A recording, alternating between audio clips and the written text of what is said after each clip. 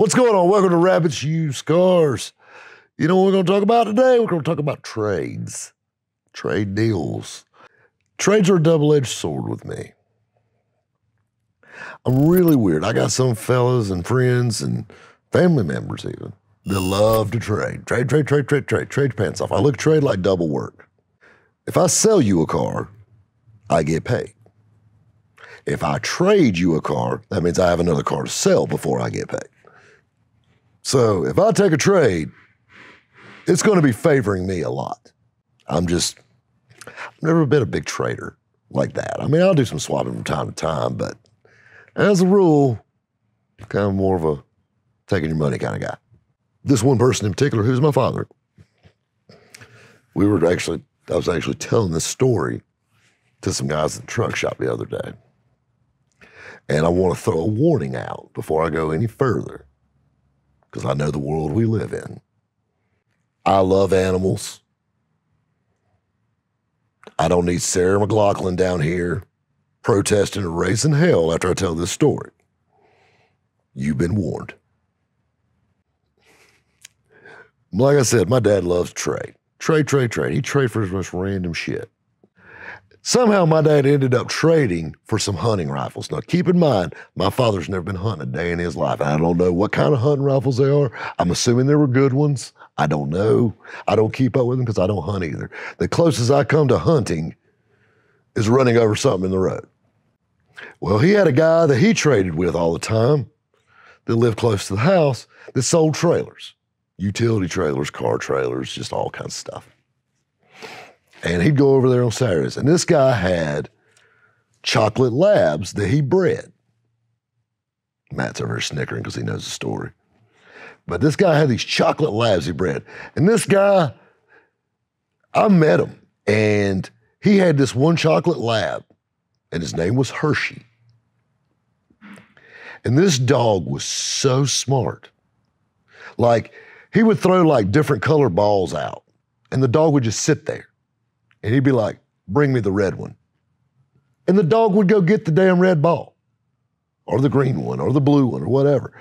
Like, I mean, the dog could do, I mean, the sit and lay down and roll over. I mean, just first call on command every time.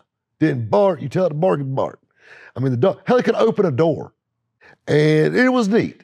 You know, every time you went over there, it'd be like, hey, you know, do some kind of, I mean, this dog just did amazing stuff. You never on a leash, just walk right beside you, sit down as soon as you stop. I mean, just that dog. It was beautiful, you know, beautiful chocolate lab. You know, I recently moved out of the house at this point, and my dad calls me up out of the blue. He says, I did it.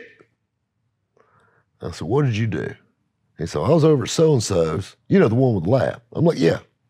He goes, He had a puppy that's the smart one is the daddy of, and the mama's some super duper AKC, whatever, chocolate lab.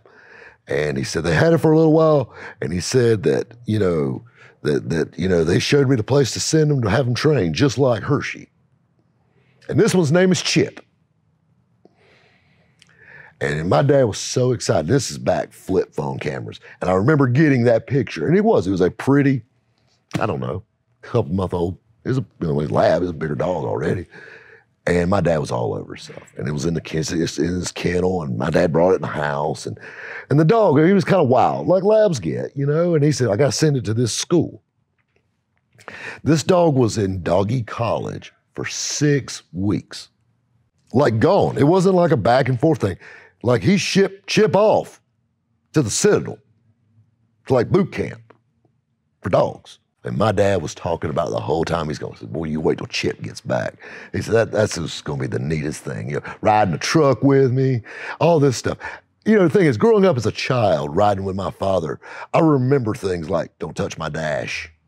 You're going to have a dog ride in the car, and you were giving me the third degree for moving in the seat too much. You're packing my upholstery down. Stop. Keep your feet on the mat. But you know what I'm saying? Like these are the things. And all of a sudden, like uh, I moved out and got replaced by dog. Six weeks goes by. My dad was ecstatic. And me and my first wife, we actually got dressed up and went to a doggy graduation. And I kid you not, it was a beautiful spring day, and they had like this little stage set up, steps on both sides, and they had a little podium, and you know the little guy there, and he had he had on like a the cap and gown thing, you know, and he called those dogs up one at a time, and they came up there and they had little doggy diplomas, like they they bid them and walked off the stage with them.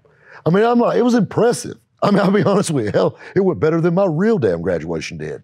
I mean, like, and I mean, like, this is awesome. And, you know, we're taking pictures with the dog with his diploma and the guy with the cap and gown on that trains these things.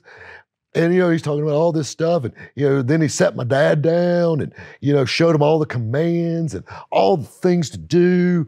And I mean, my dad, he was all about, he's taking notes. Well, my dad's ecstatic. And, you know, just over here, you say, sit, sit. I mean, just, you know, it was just all this stuff. And Chip Boy's just like a machine.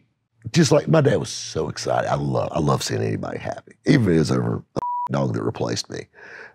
Like, I was seriously, seriously worried at this point that he was going to get dementia and like have Chip cut out of the wheel and have me put to sleep or something.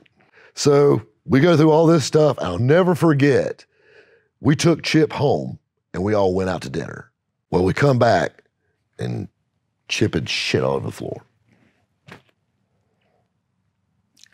You know, we probably should have took him out before we brought him in. Yada yada yada. Gotcha. Never did I do that. Next day, me and said, Something's wrong with Chip. He said, What? He said, He said, He ain't doing like he was doing at the school. He said, Won't you come over here? I said, What the hell am I going to do? So I go over there. Just basically, more or less, just so I can make fun of him. And this dog wouldn't do shit. He wouldn't do nothing. He'd just sit there and look at you, tongue hanging out. And I mean, and I'll be honest with you, when you look at chocolate labs, this one looked kind of like he might be a little on the slower side.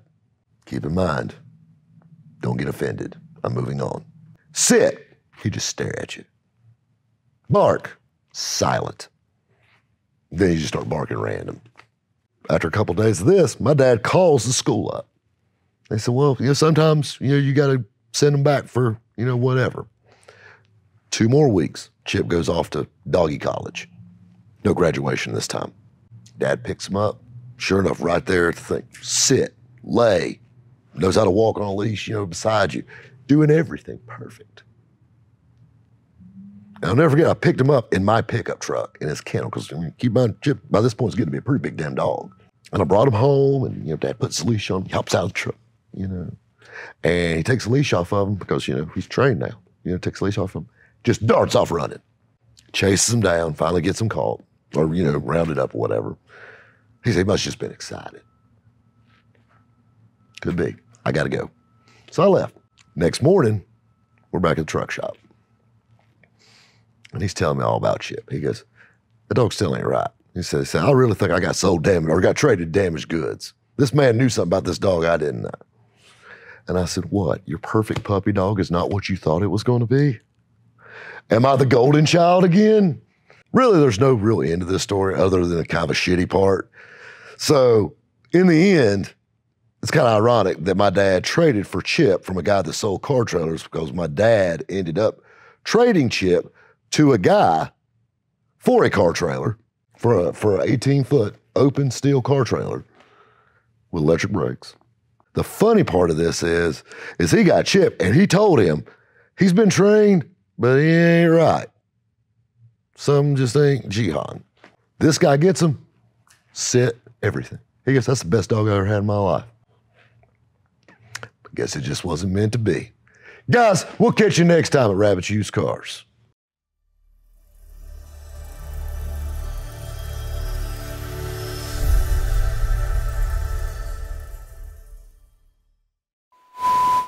The thing that tickled me is I barely graduated high school and you're sending a fucking dog out for further learning.